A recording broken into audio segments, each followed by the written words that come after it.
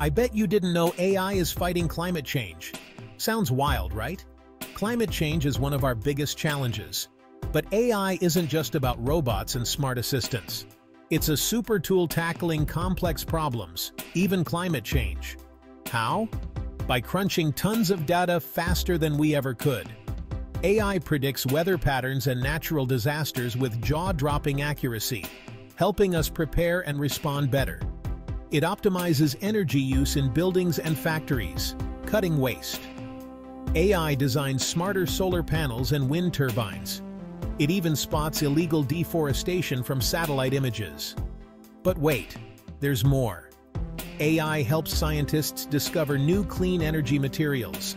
It makes transportation systems smarter and less polluting. And it helps farmers grow more food with fewer resources. The best part? AI keeps learning and improving. Every day, it's finding new ways to help our planet. We're just scratching the surface.